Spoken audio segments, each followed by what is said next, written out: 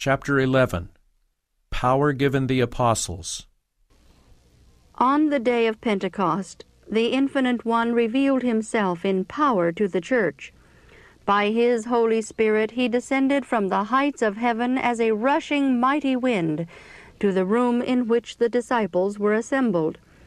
It was as if for ages this influence had been held in restraint, and now heaven rejoiced in being able to pour upon the church the riches of the Spirit's power, and under the influence of the Spirit, words of penitence and confession were mingled with songs of praise for sins forgiven.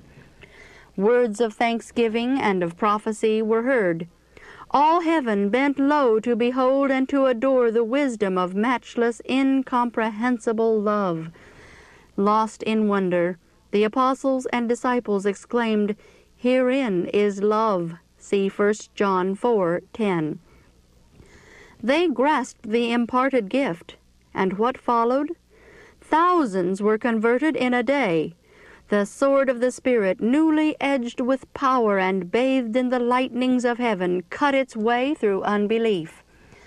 The hearts of the disciples were surcharged with a benevolence so full, so deep, so far reaching, that it impelled them to go to the ends of the earth, testifying, God forbid that we should glory save in the cross of our Lord Jesus Christ.